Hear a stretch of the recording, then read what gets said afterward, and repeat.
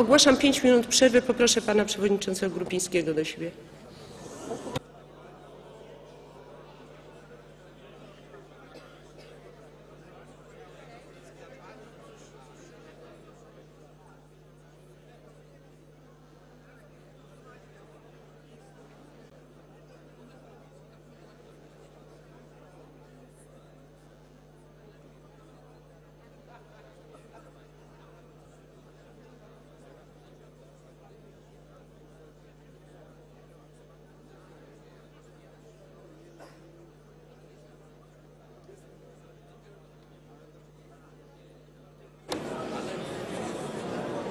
Na tym zakończyliśmy tą część dzisiejszych obrad, y, czyli zakończyliśmy głosowania. Za 5 Pani minut.